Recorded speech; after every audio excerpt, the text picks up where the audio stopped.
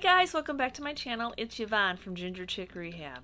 On my channel, along with my husband Chris, we do thrift flips.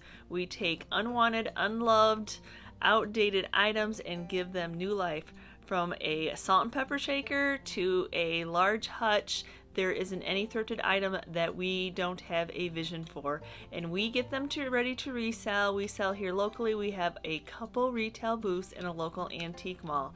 But we love to share the process with you all and share our vision with you and what we do to these items in case this is something that you're interested in getting into or something that you already do or just something that you would like to do some of the items that are laying around your own home. In today's video, I am bringing you one of my thrift haul makeovers. So I am going to be sharing the process of what I do with these thrifted finds and that I get them ready to resell. As you begin to watch this video, what do you see when you look at these items? What is it that you see? Do you see unloved, unwanted, outdated, trash of items. So in this video, I am going to share with you my vision, what I see for these thrifted found items, what I think that they can become. So it's time to get my hands on all these items. I have picked them up from the thrift store and I'm ready to assess what I my vision for them is. But the first thing I need to do is I need to remove any of the price tags and any store stickers. So these are now my items. These are now in the Ginger Chick Rehab hands and I want to make them mine. So I definitely want to remove anything of what they used to be. And then if anything is screwed together or any glass, anything that I can remove, I will separate it. I just am a fan of painting things separately to get those crisp lines. So any little screws, any little hinges, any little light bulbs, anything that I can take apart, I will. For this little box in this grouping, I only have one thing that needs to be sanded down. This was hand painted on, and so it is raised. So the way that I like to paint and I like to distress, if I do not sand that smooth, when I go to sand it, all that detailing will show through, and that is not what my vision is.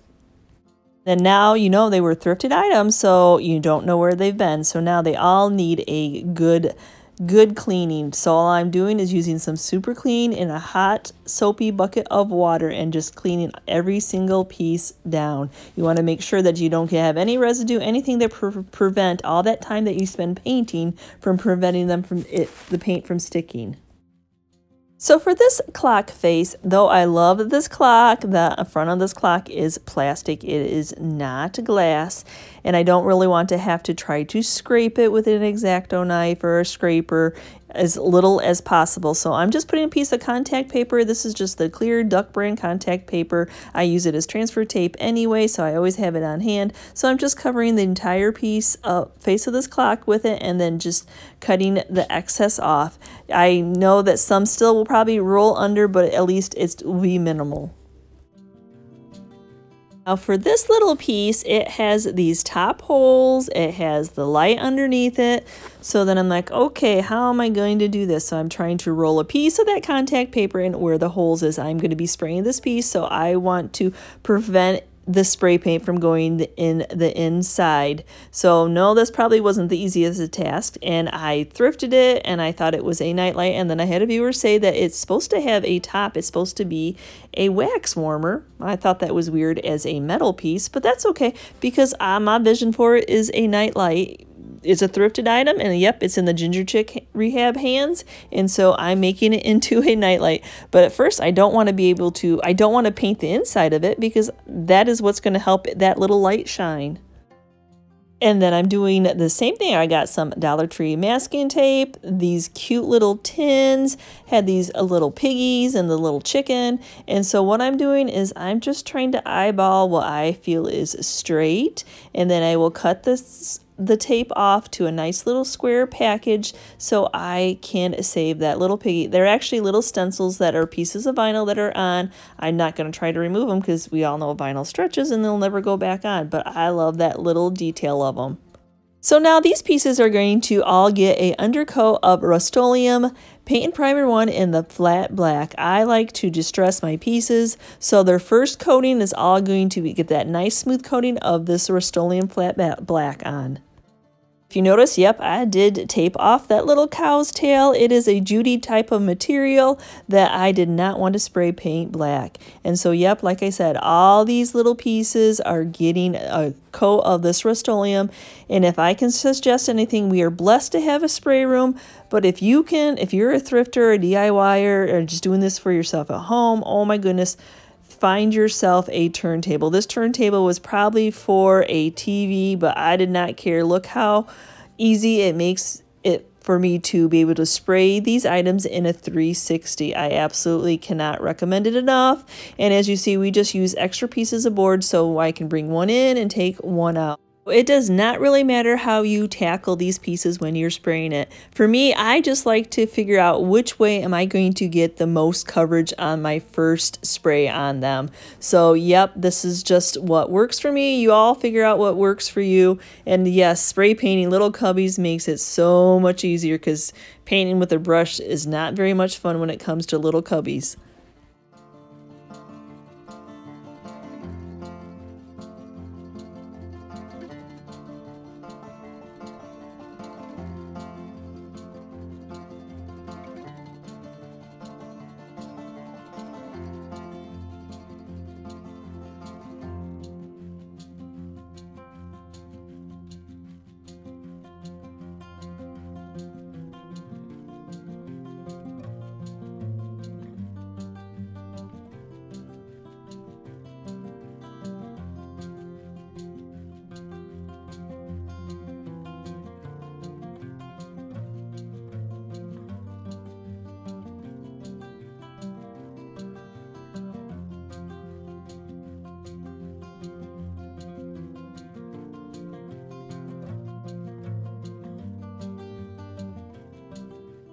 So before flipping these items over and getting the rest of the surface area that I can, I like to protect that Rust-Oleum paint with some polyacrylic.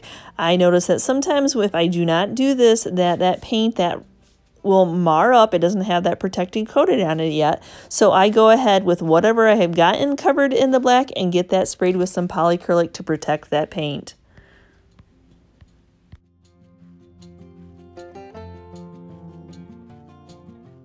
Since I'm not really coating these to cover, I am just getting this polyacrylic.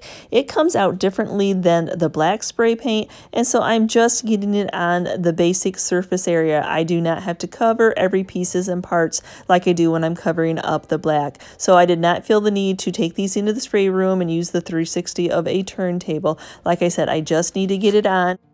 So I actually thrifted a whole bunch of hockey pucks. When it comes to doing a round object and having to sit it on its side, not always the easiest thing because it wants to roll. And I had seen some professional woodworkers have these fancy discs from Rockler that I thought, you know what? I bet you if I ever came across hockey pucks in the thrift store, I could use those. So, yep, if you see any out there, there's another little handy tool to stop things from rolling. So now that that polyacrylic is dry, now I can flip them over and try to get the rest of the surface area that I can. Like I said, I like to get that first coverage, the most coverage I can, so when I flip these over, I don't have much left to spray paint. And the same thing, that's just a little bit of spray paint I'm doing so I don't feel the need to carry every single board in again to the spray room.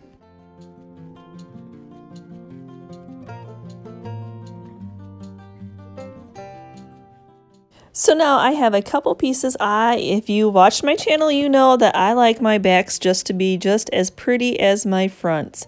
So, so for some of these pieces, I want to keep that crisp black or try to keep the crisp black anyway. So for this metal cross, I'm just going to be doing that same thing that I did with that clock. I'm just going to be setting a piece of this contact paper and hope that it will stay stuck and not have all that white paint leaking through. So for these items, I'm going to be using this Waverly chalk paint that I get at Walmart.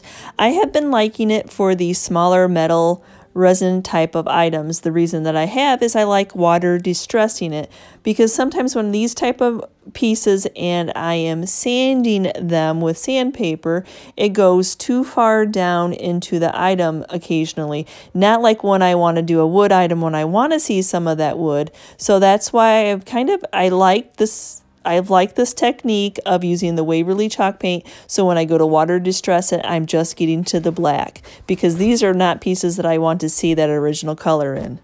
And I could kind of tell the way that this paint was gloping right out of the bottle that I needed to start right off with watering it down, getting it to a nice regular paint consistency. So yep, I'm just using some water and just getting it to where I think it's a workable paint.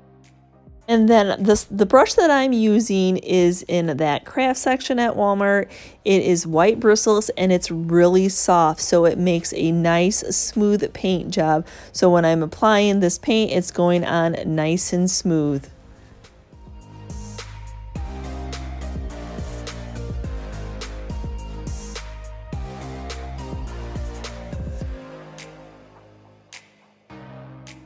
And if, if you notice, yep, I do have a little Lazy Susan turntable also that was thrifted. That way, when I'm working on my small items, I can do that 360 of turn. The, just anything for us filling two booths now, I need a lot of items, so I need to get the masses done, and time is very important to me. And this is the most efficient way I feel that I can get these pieces done.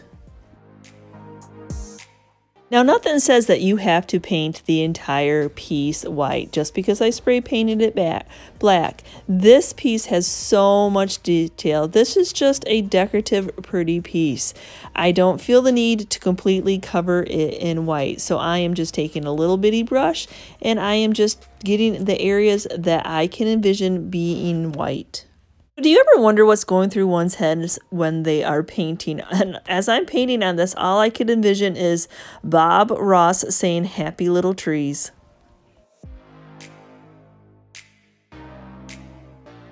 And then this is another piece. I just envisioned these flowers. It's supposed to be a candle holder, but for me, it is flowers. It is a beautiful decor piece. And just the top side of those leaves being painted white. So, yep, I have to take the time. I've got to go in with the smaller brush, but that's okay. I enjoy painting. I find it very relaxing. And like I said, all I can envision is Bob Ross saying, Happy little trees.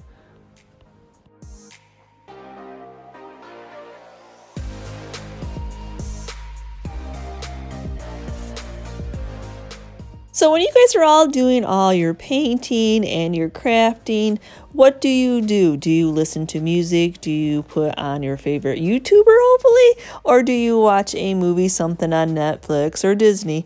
I just, yep, this is to me is a happy little place. I enjoy the whole painting. I find it very surreal and just watching a little TV episode or one of my favorite YouTubers and then just getting these items all prettied up.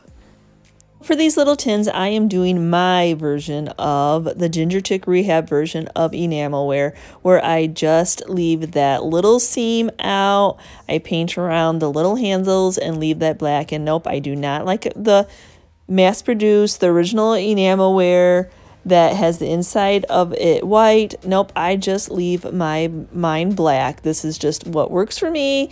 It's the vision that I feel for these pieces. It just has that enamelware look. Then for this cross, this has all those little holes in it. It's hard metal. Yep, I could go in with that little bitty brush, but man, that would take a while. And it's not quite the detail that I need to cover up and not get. And as you know, this cross has a beautiful flower in the middle. So I'm just going and getting the most paint on using one of these type of brushes. I don't know if it's a chalk paint brush. I don't know. I all I know is it is a different type of brush that was in that section that I thought, oh, I could probably use that on things. So I purchased that along with the other brushes. So as I'm going in and painting on this piece, the flower petals just kind of grabbed the paint and it was just ever so slightly. And then I'm like, oh, I like that. I'm going to leave that the way it is. So then I went in with a little detail brush and finished off a couple more little pieces just to feather it out. Sometimes God wink moments, it looked pretty the way it is, so you just stop. So now I'm just removing that piece of contact paper I laid on the top so that it didn't, when I sprayed it, go in. And then I did kind of fill it with a little bit more contact paper. And then I'm showing you that I switched out to masking tape to cover up those holes. But now I'm on to painting this, what I call it a nightlight, and doing a little bit of detail with a detail brush around the handles.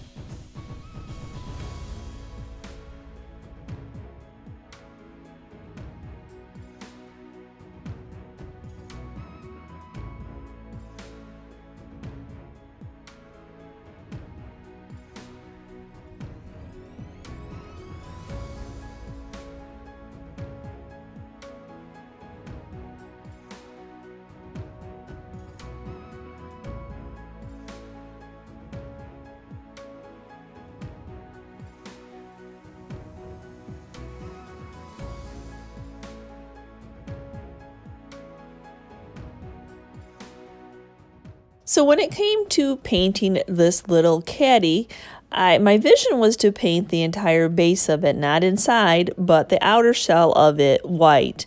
But when it came to those bottom legs, they were welded together, and I just didn't feel like I would be able to make a crisp, clean line.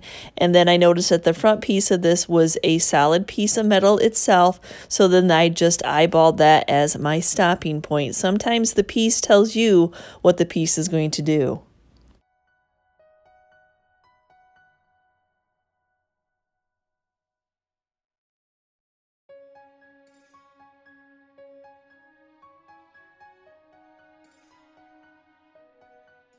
Here's where I'm talking about. That is a solid weld.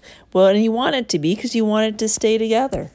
So here's what everybody looks like with their first coat of white. As you can tell, it is just on, even though I kind of think that bunny looks kind of cute with just one coat. It is just what it is. It's all just on the first coat. So now I'm on to painting my second coat. I'm kind of trying out this brush because I had to water that first coat of paint down. I don't really feel like this is a second bottle. This is the, I've only used one other bottle of this. I feel like the second bottle's not quite as nice as the first Waverly bottle is. You I'm used to the consistency of my Kilz paint that I've always used. So I'm trying to get a little bit more paint on with this next coverage, but I'm still having to water it down because it just went on really chalky. For the metal pieces, I do feel like it is covering them a lot better than the resin pieces. I don't know why. That's why I'm still on the fence about this chalk paint. So I I like consistency. That's probably the OCD in me, but it is working out really well right now for the metal. And I know when I'm going in with this little bitty detail brush around these handles that I'm going to have to go in three times just the way that it moves the paint. You just can't get enough coverage and I don't want to have any runs, especially since I've added water to this. Especially your second coat, you really want to have it a little bit more watered down so you can get that smooth texture.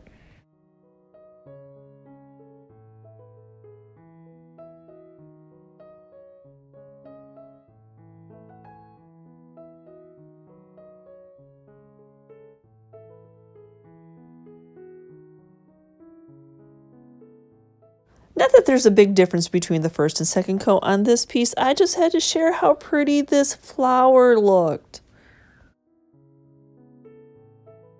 And yep, going back in for a third coat around these little handles. And actually I have to say because I had to water that first coat down and then the second was watered down that I ended up, a lot of the pieces I ended up having to do three coats on. So now I'm going in with some water and a piece of drop cloth, meaning that it's a little bit heavier of a material, a little bit rougher of a material, and I'm soaking that in with a little bit, not drenching, soaking it a little bit in with the water, and now I'm going back in and rubbing those areas that I want to see that detailing through, and especially on this piece where it has that beautiful little detailing of that wreath and that home sweet home. Oh, it's just so pretty. And this is where that spraying of that black underneath and then spraying that polyacrylic kind of comes in handy because now that I'm rubbing on it, if I would not have put that sealer in between the black and the white, a lot of times when you're doing this, you could have like a little bit gray mess. So that's where, for me, a key step is sealing that in with that polyacrylic before I put this white paint on. I could tell you that all these just all water distress so easily, but I would be fibbing because oh my gosh, I don't know if it was having to put three coats on or just the difference between one bottle to the next bottle. The elbow grease that I had to use to get some of these items to distress, I ended up getting a gently, very used piece of sandpaper to sand some of this white paint off to get the distressing I was looking for. I was a little bit on the disappointed that I wasn't going to be able to achieve with water distressing like I had done on the last bottle. It just distressed so easily for me that first time. But, you know, it is what it is. And I just, I didn't want to go in with a strong piece of sandpaper. This is just some from the dollar store because, you know, that's not really as strong as it it should be. So, um, yep, I had to go in with sandpaper very gingerly because I didn't want it to get down to the original color. Remember, this metal piece, the original color was red. Then I take the little bit of the sandpaper, run it, rub it a little bit gingerly, get a little bit of that paint off, and then go back in with my drop cloth that was soaked in water to remove some more of the paint.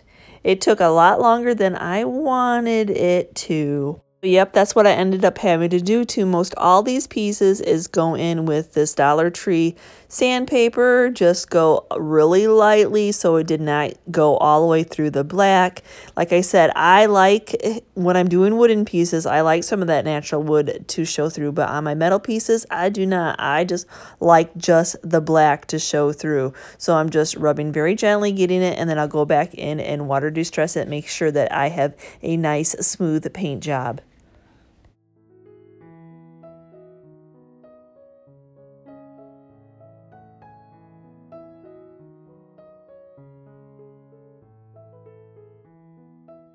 So what I ended up finding out is if I soaked it just a little bit, the paint just a little bit with water and then went back in with the sandpaper very, very, very, very, very lightly, I could get a little bit of that paint to remove and then go back in with the drop cloth. That's what I'm saying. It was a little bit different procedure than the first time I had tried this and as carefully as I tried, you can see where I touched white paint on this item.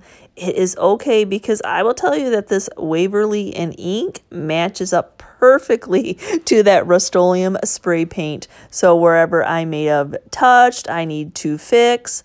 Yep, I just went back in with a detail brush and fixed it with that ink chalk paint. And then for this piece, since it was already a wooden piece, just the way that it was made and built and how all the crevices and pieces and parts.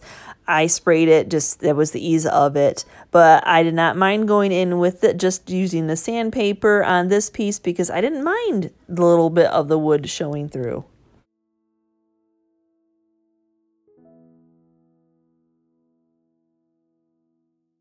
And then making sure that I had the smoothest of paint jobs, just went back in with that wet piece of drop cloth and distressed it some more, just getting all that dusting off from sanding it, uh, along with smoothing out that paint. Though I don't know how much you all want to see me sanding, I needed to throw this in because I thought I had a viewer that was interested in one of these boxes like this that they had. And so that's all I'm doing with this piece. It is a wooden box, so I'm just going in and let the sandpaper distress where the sandpaper will hit on those little brad, those little buttons that are on this piece and then just taking the rag and smoothing that so it's a nice smooth paint job. And then now on all the pieces, I am going in with this Varathane finishing wax. Yes, I know Waverly has a wax. I used it the first time. It removed my paint was not happy. So i quickly after one item realized to go back into my varathane wax that we use all the time. So i have no problems after i've distressed these pieces using this varathane wax and it does not remove any of my paint it leaves my distressing where i had put my distressing are you curious? Can I use the natural wax on the bottom of this? Yes, I want to keep this black. I'm not antiquing the, the bottom of this piece. I'm just going in with that Varathane wax. And since I sealed it with polyacrylic, it just makes it a nice smooth finish. I know you all probably just want to get to the reveal, but let's see how this contact paper did on this clock. How much am I going to have to clean up afterwards? I have to say, I really had minimal to clean up. I could just remove it with a little bit of water and this little, yep, it is a Pampered Chef scraper that, yeah, but it works just fine. Remember this, the front of this piece is plastic, so I could not use a metal scraper on this. But yep, a little bit of that scraping, a little bit of a Clorox wipe, and I'm getting whatever little crevices um, filled in with some of that paint. But the contact paper worked rather well, I have to say. When it came to painting these candlesticks, they had that felt bottom and for some reason, they're always falling off, but you can see the ugly bottom on these that I had to save that. So I'm just using a little bit of my Starbond glue to adhere them back to the, they are metal, the bottoms are metal. So I'm just using some of that glue to reattach it. Yes, I could have used hot glue, but it, sometimes I think the hot glue is a little bit on the thick side. And now the fun of it, removing all that everything that I taped off, including this cord. Yep, it was kind of a messy little contact paper and some masking tape, but well worth keeping the cord as nice as the cord was. Before I have a viewer write in my comments that I left a tag on that bottom, that is the directions for the light bulb. So since those are directions, I did not tape over that. You need to know what light bulb you need to replace that with. So for these two pieces, you can almost tell that I wasn't going to be able to get of any of that Varathane wax on these very well. So I'm just taking them back into the spray room and I'm giving them a nice misting of this polyacrylic spray to seal that chalk paint in. Let's see if our piggies and our little rooster is still underneath this tape. And did I do an okay job using an X-Acto knife to make a nice square line. I have to say, I don't think I did too bad, but that definitely left a raised edge. So I was going in, trying to water distress it, but I'm like, yeah, I'm just going to get the sandpaper. I wet it a little bit and then going in and I want that not to be quite the bump out that I can feel. So I'm just taking that sandpaper where I just wetted the chalk paint and then just making some distressed marks where I visually like them. For the back of this envelope, I sanded it just a little bit. I know I could not remove that glue all the way at the bottom. I could have, but it's going to be tucked away anyway. And then I am actually sealing this in with the Varathane wax. I should have showed you my rag because all that stain had, was coming off of it but now I'm just replacing this back together. That's why I said it's a little bit easier if you separate the two pieces. That way you get that nice crisp paint line. I have a few of items like this little caddy tote that I'm going to be putting a stencil on and I want to make sure that that paint is on there good. When I go to remove my stencil I'm not taking all that paint off. So I'm making sure that I seal that in. Even though I waxed it waxing the stencils do not like to stick to waxing. So I want to seal this back in with some polyacrylic then when I removed that tape off that little cow's tail, I just did not like that material. I didn't think that color did anything for the white color that I had just painted him in distress. So I just took a little bit of that ink and a little bit of water and just made my own little hair dye for his tail. So here are the four pieces that I'm going to be doing a little bit something more on. I brought them into the house off from the workshop uh, there's just not enough room. I know I laugh when everybody's like, show me your craft space. I'm like, oh my gosh, I'd have to show you my attic, my extra room, my other extra room, my workshop. Do you, I, when you're you do this for a living, it's your whole house. So I went into my stash. I looked to see what flowers, what florals, what I had that I thought were pleasing to this envelope, especially with that wood behind it. I absolutely loved that stain. So I just have um, some of this left over lamb's ear that I'd gotten last year at Walmart. And I have these little flowers, these little pip berries that I have thrifted a lot of. And I'm trying to find a use for them because I've stuck them in jars and stuff and nobody ever wants them in my booth. I love them. I decorate with them. So anyway, I'm going right into using the Dollar Tree foam. And I know that I removed all the foam to paint this and all the flowers that were already out, out of this. It was glued in there. So Yep, the Dollar Tree foam, the floor foam, you just cut it up and stick it in. And for me, my next step, I like to take some of this grass, and you can buy this also at the dollar store, but I just was lucky enough to thrift it quite a few times in this thrift store. You just want something to cover up that foam, even though I like to do my florals as full as possible, just in case you see that, which is not a terrible green, but you don't want to see your floral foam from underneath. So I know that probably everybody has a different way of putting florals into their arrangements. And if I can suggest anything, when get yourself a good pair of wire nippers. So I always start in my center and then work my way down. So I keep my center piece a little bit longer and then I do a little bit shorter on either side and I kind of work back and forth on the heights, removing some of the leaves. It's okay because I save every piece and hot glue them in so I have a nice full arrangement.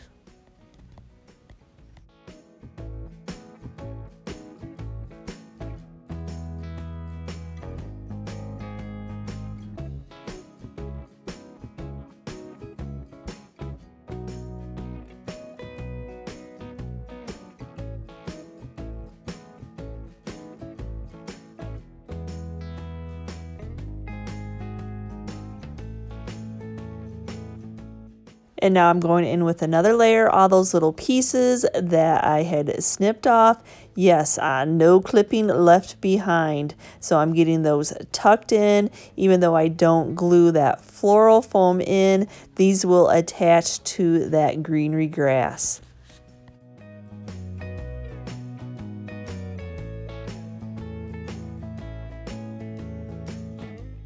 And then I will tell you just because I visioned it does not mean it worked out. Oh my goodness. These were not wired enough. They were too loose. They wouldn't push into the floral foam. They look like, yeah, I did not end up using these cute little sprigs, but maybe for another project. So back to my floral stash I go and I have a couple little sprigs that I had cut off from that new lavender they got this year at Walmart. And then these are a couple pieces left over from last year, so still pretty cost efficient. Those lamb's ears, I think it was the two pieces for the $2 last year. And I think I still got this lavender, maybe a dollar forty-seven for a bunch. And like I said, I have those two those longer pieces left over from that $3 piece. Yeah, when it comes to floral arrangements, it's not the cheapest thing in my booth by any means. I'll sell this arrangement probably around $30, but and then it is what it is. It's a beautiful arrangement and you have to get what you put into it. And so I do the same thing that I did with that lamb's ear. So I'm visually remembering where I put that tall piece of lamb's ear. And so these are my two tallest piece of this lavender. So what I'm doing is I'm putting one on either side. You want to make, even though it's a small little package, you still want to have it even even on each side. It's kind of like you put one in here, you put one over there, you put one here, you put one over there.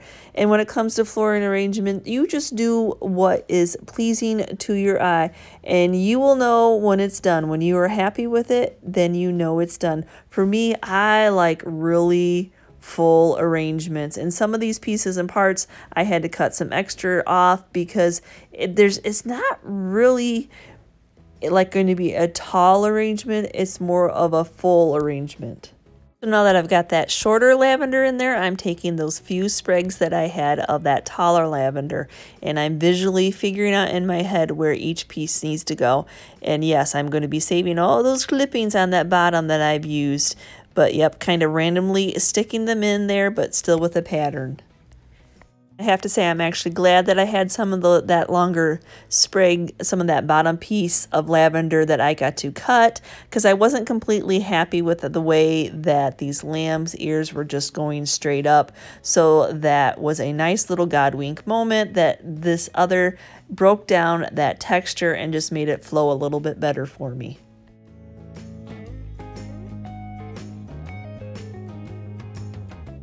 So I don't know about you all, but I know that I am obsessed with those crockery stamps. So was on the search for some more when I ordered these from Etsy, which I really thought were some different type of crockery stamps. I guess I did not read fully or I'm not really sure. So here comes some transfers. I really wanted them to be stamps, but that's okay. Apparently it was meant to be. It is what it is. So now I have to kind of figure out what I want on the front of this little um, envelope. And so I, I do like these. I'm not really familiar with transfers. So that's one thing about when I make my own stencils. I like everything to be original. I don't want to mass produce a whole bunch of the same items all the time. I have a lot of repeat customers. So I like to give them something a little bit different each time. So I guess this was perfect that these came as a transfer. So I picked out which one I wanted. I wanted something really simple because it's a beautiful floral arrangement. I want you to have that little bit of detail, but I don't want it to take away from the floral arrangement itself. So I just picked out some wording. And I really don't even have any idea what this says, but I guess that's okay.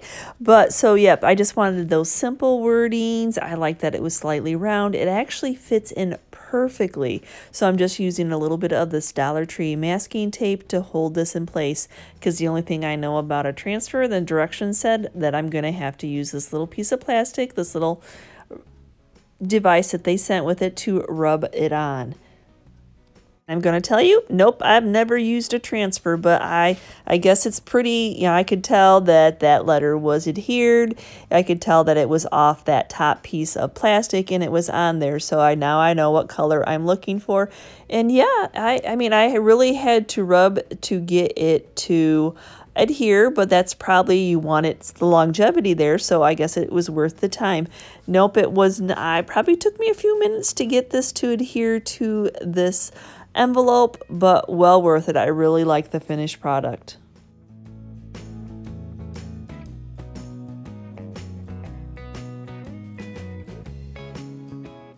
So I knew I had cut the roping off that hung this piece that I needed some new roping. I don't know what it is about that thicker roping. It just reminds me more of a nautical rope than a farmhouse rope but I needed a substantial piece. This little jute was not going to work. So, yep, this is what I'm doing. I taped three pieces of jute down and I'm making a simple braid to act as the hanging system for this envelope. Then I find if I put a little bit of hot glue in where the knot is and then kind of hold it and let it kind of glue in place that I don't have to worry about it coming unraveled. So for that two-tier little caddy, that little cubby box, I kind of envision people storing their seeds, some flowers, whether it be fake or real. I just thought it was a unique piece. So that's how I wanted to word it. I actually had quite a few view viewers that had the same um, vision I did in my comments. So I loved hearing that. So I'm taking this design. This is my silhouette. I know I kind of go for my silhouette more. I still can't figure out how to take the images apart on my Cricut. No matter how hard I try, you all give me hints. I go and I just look at that screen and I can't find how to do it. So that's why I'm back at my silhouette. So this is a design off the design store. I liked the curviness of the fresh flowers. I liked that market and I'm just using those pieces and parts. So I ungrouped it, grouped back in the wording that I wanted. I want that market to be at the top. So I'm doing, that's where I'm moving everything around. I'm a visual type of person. I have to regroup that together and then put that. But I kind of thought that I liked the blooms and stems, but then I didn't end up using it and just deleted that. And then back to the store I went looking to see what other little ideas I could get. Then I liked this seeds at the bottom. I definitely knew that I wanted to do something like that. So deleted the bloom and stems, deleted what I don't want the flowers. I just wanted that wording. I, I will tell you when it comes to making individual stencils, this was an hour, if not more, just to create this stencil. But for me, having a original piece is well worth it. Once I moved that seeds and stems and blooms closer to the fresh flower and tried to enlarge it, it didn't really flow. There wasn't, even though I like all that different fonts together, I didn't like it. So then I retyped it out in something else and then deleted that. It, like I always say, just do something until you love it. And if you love it, others will love it too. And then the Sweet Tea font that I picked is in a cursive font, so I need to weld it all together so that it doesn't make those individual letters cut into each other, so it all flows. And after searching for something to put on that little watering can, I picked this out though. I didn't think I needed a picture of a watering can because you already know it's a watering can and you can put your own flowers in it if you want. It's just personal preference. I just liked that floral market. Here's something I don't ever remember enough is when I'm cutting out on the stencil on a white ob object to cut it out in black and when I'm doing a black object to cut it out in white. One in a million times I actually remember to do it on this one. So I like to use the Oracal vinyl, the permanent, the 651 that I get off Amazon. And when it comes to cutting off my stencils, I like to cut them as close as I possibly can. It just helps me when I'm eyeballing and when I'm trying to center my stencil on an object. If I have too much of the vinyl, it just throws me off on where I need to measure. So, just a, another personal preference. If you're better at it than I am, this is just what works for me. I don't mind adding a little bit of masking tape around the image. I buy it at the dollar store anyway. I just rather have it be as centered as I want it to be.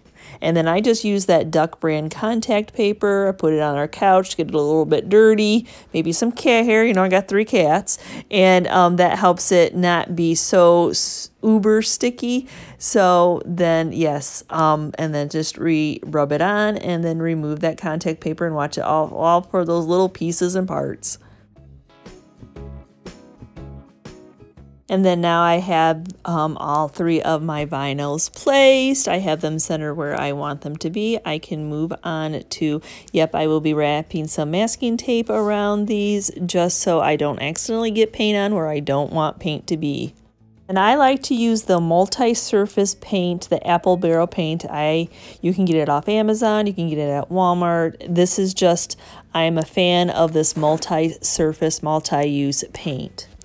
I just use a ma makeup sponge applicator that I get at the Dollar Tree, come a dollar for a whole bunch of them.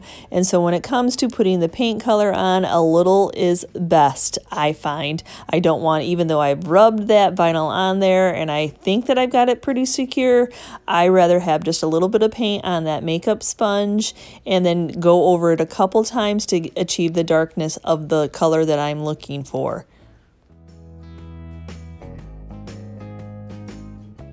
And I didn't show you how I cut uh, the little word market to fit in this little bitty space on this little file. I'm going over it with coat number two. Like I said, you just, whatever you're eyeballing, how darkness you want it to be. I want this to be a crisp black. I will use the heat of a blow dryer to help dry in between coats. Also to reactivate the sticky on the tape and on that vinyl so I don't accidentally pull any of that all that time I spent painting this piece. It is well worth the time. This is one step I hope I never forget because too many times have I pulled off paint and had to repair things. Now to go back in and remove all those little pieces that are left behind, I like to use a boutonniere pin. I get a pack of them off of Amazon. And when you're doing this, you kind of just want to have it gliding in the air a little bit, just hovering above. You just want to grab the pieces of vinyl. You're not digging a hole. You don't want to mar up underneath there. Now you've just watched me do a transfer on a stencil, so I'll just do a little quick version. That's why I didn't show you that little market on that file. How much can you watch me stencil?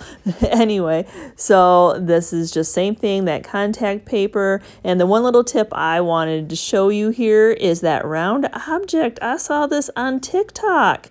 They were doing some of those cups that they're doing epoxy on, and they used two uh, lint rollers. And yeah, I'll tell you, yep, it sticks to the mat, it sticks to the object, and then it does not roll. So this really why I'm showing the, you this part other than I'm going to be painting this one with white multi-use paint. That's really what I wanted to share that little tip of, yeah, you can buy two lint rollers at the dollar store to seal my stencils in, I want these to stay that nice black. I want to make sure that they're not getting rubbed off. I'm just going to take them outside and give them a light coat of this clear acrylic spray. Now the acrylic spray it is smelly, so please do it outside in a ventilated area.